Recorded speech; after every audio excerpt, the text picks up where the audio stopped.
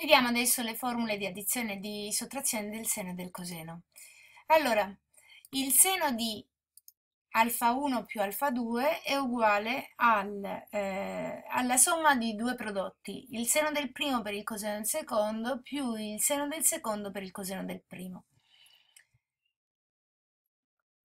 Il, il seno conserva il segno, cioè il seno di una somma è la somma di due prodotti il seno di una differenza sarà la differenza degli stessi prodotti, mentre il coseno inverte il segno, cioè il coseno di una somma è la differenza di due prodotti, e precisamente il coseno del primo per il coseno del secondo meno il seno del primo per il seno del secondo. E il coseno di una differenza sarà la somma degli stessi prodotti. Applichiamo adesso questo queste formule al, ad alcuni archi associati e cioè vediamo a che cosa uguale il coseno di 3 mezzi pi greco più alfa. Applicando la formula di prima sarà il seno di 3 mezzi pi greco per il coseno di alfa più il seno di alfa per il coseno di pi greco. Ora, il seno di 3 mezzi pi greco è meno 1, il coseno di 3 mezzi pi greco è 0, quindi il secondo addendo sparisce e resta solo meno coseno di alfa. Noterete subito che se noi anziché calcolare il seno di 3 mezzi greco più alfa, calcoliamo il seno di 3 mezzi greco meno alfa, siccome il segno cambia solo sul secondo addendo che è nullo, otterremo esattamente lo stesso risultato. Vediamo invece a che cosa uguale il coseno di 3 mezzi greco più alfa. Applicando le formule e sostituendo sarà coseno di 3 mezzi pi greco per coseno alfa meno seno di 3 mezzi pi greco per seno alfa. Il primo addendo è nullo e quindi questo sarà uguale a più seno alfa.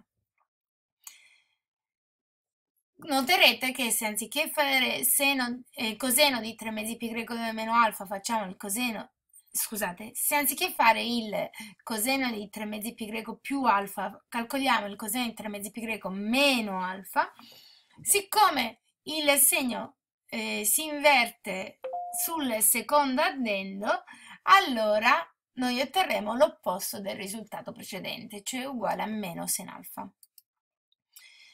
Ora, applicando la definizione di tangente, noi abbiamo che la tangente di 3 mezzi pi greco più alfa è il rapporto tra il 3 mezzi pi greco più alfa e il coseno di 3 mezzi pi greco più alfa, e in base a quanto precedentemente trovato sarà uguale a meno coseno alfa su sen alfa, cioè meno la cotangente di alfa. Mentre se noi facciamo la tangente della differenza, cioè la differenza tra, meno, eh, tra 3 mezzi pi greco eh, e alfa, noi otterremo che questo è uguale a più la cotangente di alfa. Andiamo a vedere cosa succede eh, con i quadranti, quindi abbiamo se, quindi se alfa è nel primo quadrante, 3 mezzi pi greco più alfa è, vuol dire fare 3 quarti di giro più alfa, quindi l'angolo andrà a cadere nel quarto quadrante. Seno e coseno si scambiano e in più il seno diventa l'opposto del coseno. Mentre se noi facciamo alfa meno 3 mezzi pi greco, vuol dire fare tre quarti di giro in senso orario, aggiungergli alfa e quindi se alfa sta nel primo, 3 mezzi pi, eh, alfa meno 3 mezzi pi greco va a finire nel secondo. Ora, seno e coseno si scambiano e in più il coseno di eh, alfa meno 3 mezzi pi greco diventa l'opposto del seno di alfa. Invece cosa vuol dire fare alfa meno pi greco mezzi? Meno pi greco mezzi eh, è un quarto di giro in senso orario, gli aggiungo alfa, quindi se alfa sta nel primo, alfa meno pi greco mezzi andrà a finire nel quarto, seno e coseno si scambiano e in più il seno diventa l'opposto del coseno.